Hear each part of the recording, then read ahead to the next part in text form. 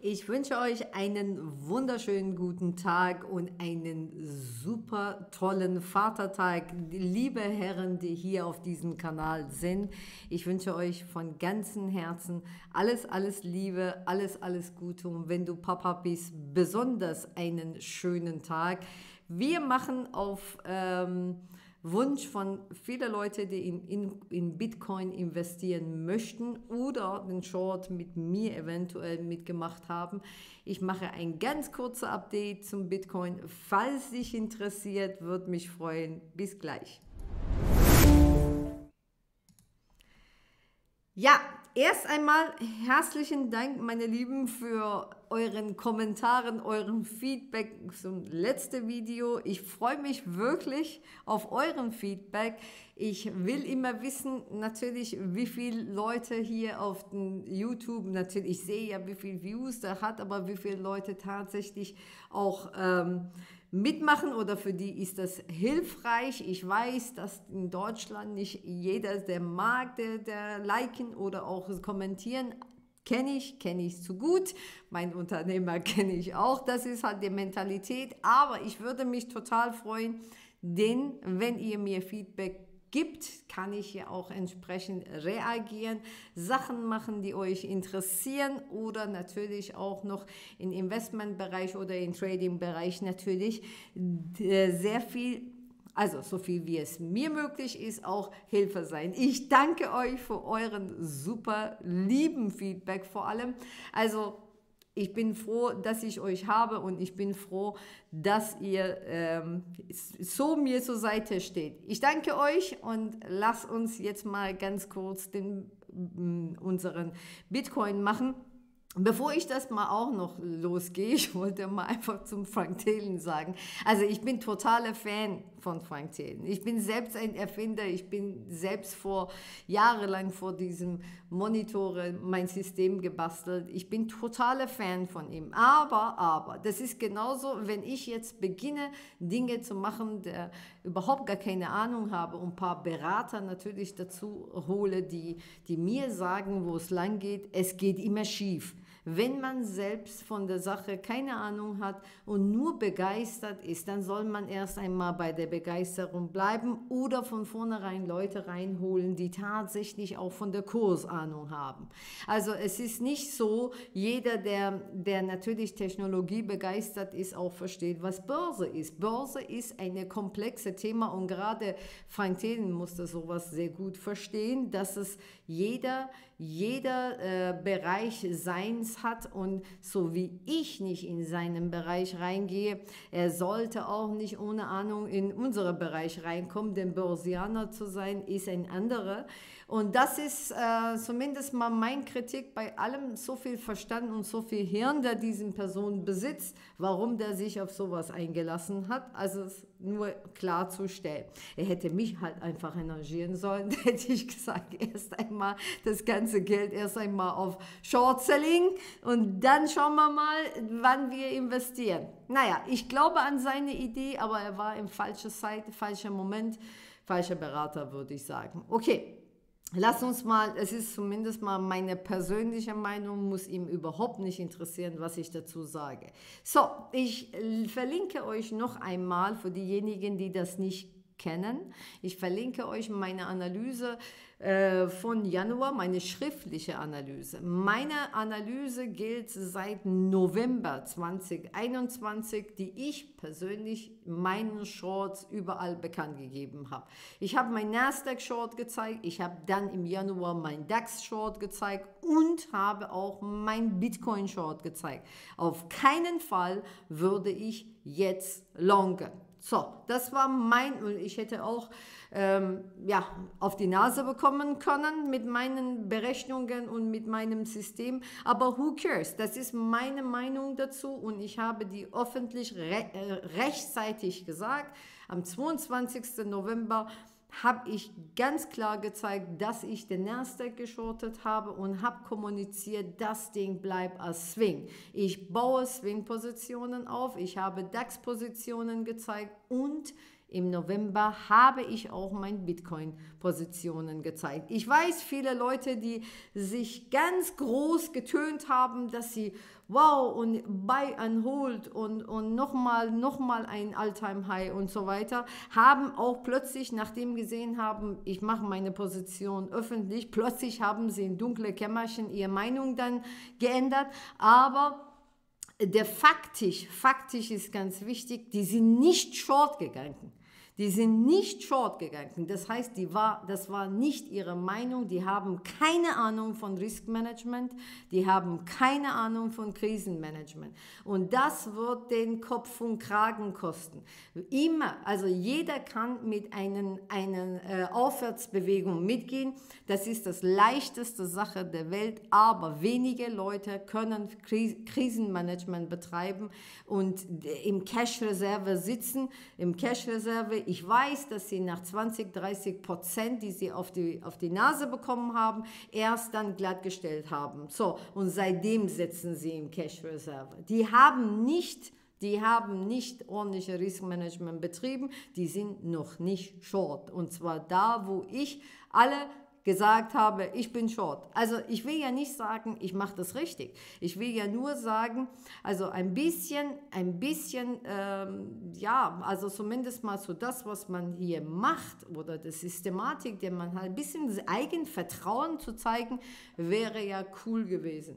So viel, zumindest mal meine Ehre und Respekt zum Frank Thelen, dass er das gemacht hat. Ja, also auch wenn er auf die Nase bekommt, aber naja, der versteckt sich nicht hinter den anderen und sagt, doch, doch, wir haben ja gemacht. Nein, habt ihr nicht gemacht. Ich weiß es ganz klar von euren Absolventen. Ihr habt nach 30 Prozent erst einmal glattgestellt oder erst glattgestellt, nachdem der Krieg gekommen ist. Und da war teilweise 40, 50 Prozent in PayPal und Co. im Minus. Also bitte, sagt mir nichts.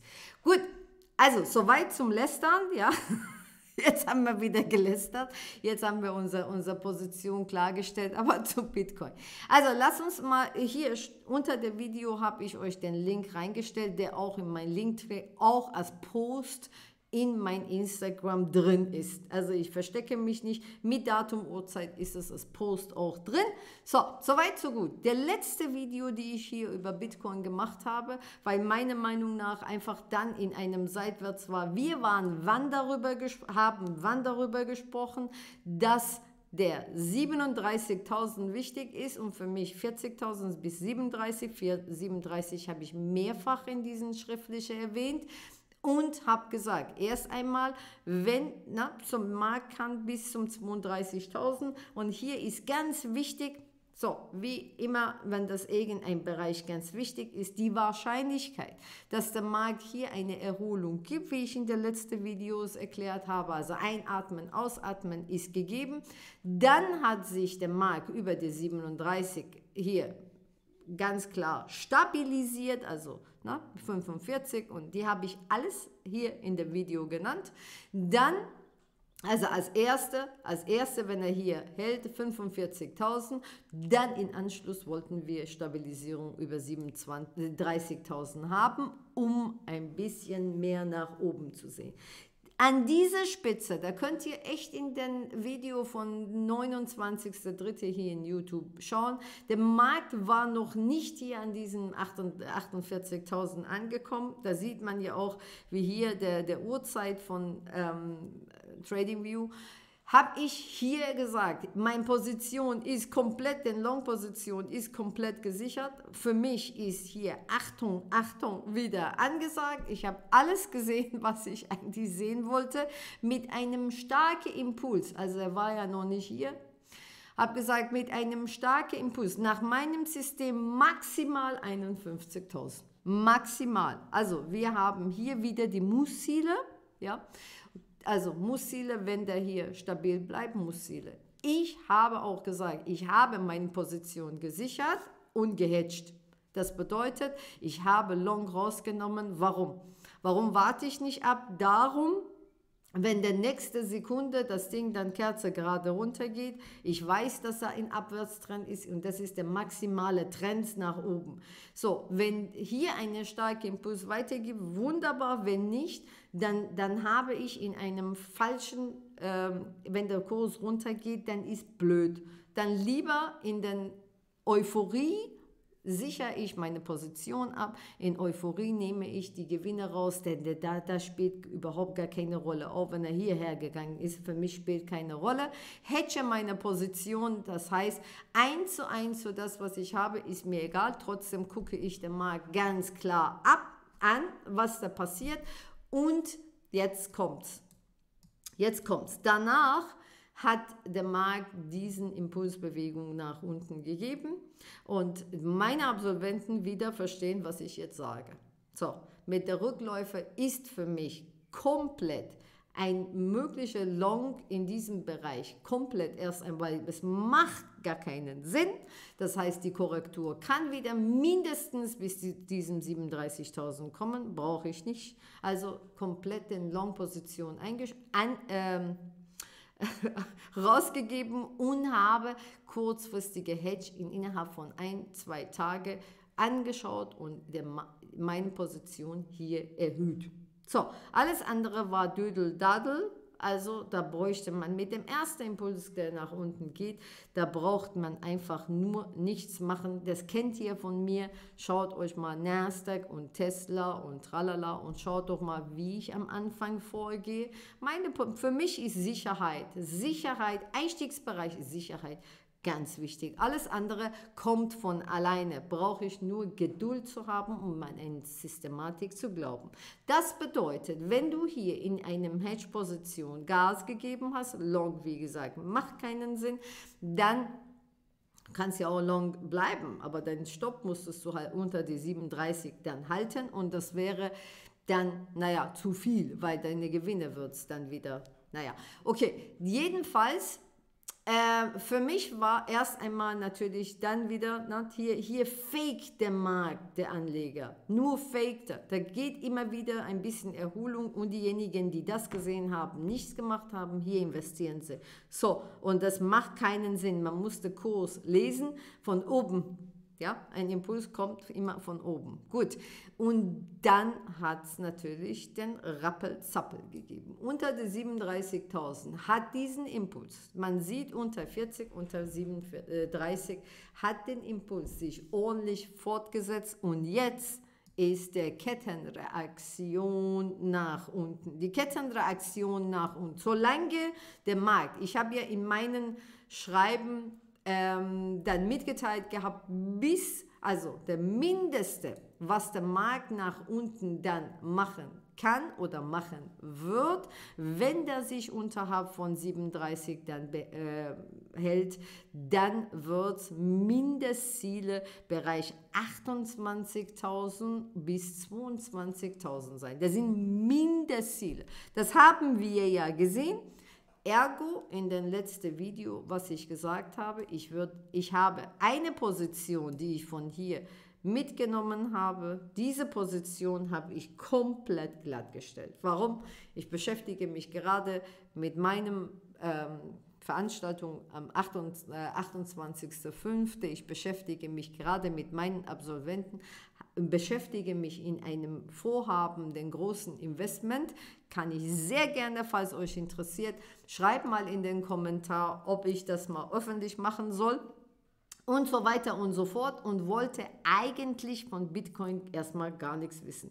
Hab die Chance genutzt, meine Position glattgestellt, habe ich auch mitkommuniziert in dem Moment, die ich glattgestellt habe und dann die Position von da oben also von ganz oben, boah, das sieht man ja gar nicht mehr, weil es so weit weg ist. Also vom Bereich 65, 67.000, meinen Short-Position behalte ich. Die habe ich ja bei 32.000, 33.000 zum Teil eben rausgehauen gehabt. Ich habe meine Position schön gehatcht und dreifach gehatcht. Meine Hedge-Positionen habe ich reduziert und habe ein bisschen Gas gegeben in Long und gut ist. Also diesen Long ist wie gesagt raus. Meine Hedge-Position von ganz oben, diesen, diese minimale, die ich noch habe, lasse ich da drin. Ich habe für Bitcoin aktiv im Moment keine Zeit. Ich habe in der letzten Video gesagt, ich bin ein bisschen wie der Zuschauer.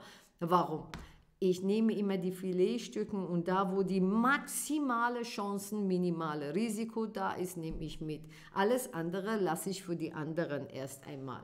Okay? Denn solange der Markt sich nicht wieder über 32.000 bewegt, solange das nicht ist, solange der Markt ganz klare Richtung nicht gezeigt hat, vor allem nach oben, wird einfach die Gefahr bestehen, der Markt geht bis Richtung wieder 25.000, 22.000.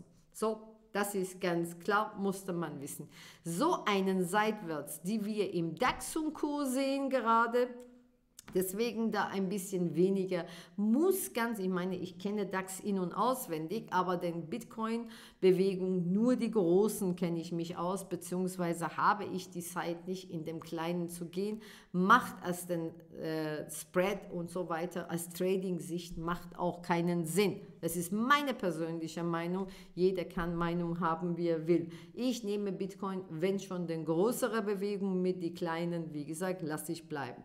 Wenn der Markt in so einen Seitwärts geht, bereitet sich auf einen False Break oder einen äh, nächsten Impuls vor. False Break bedeutet, wenn auf diese Richtung oder auf andere Richtung, der kann einen False Break geben und wieder nach unten gehen. Er kann in diesen Richtung einen False Break geben und dann wieder nach oben gehen. Wie auch immer oder ein ordentlicher Impuls in eine oder andere.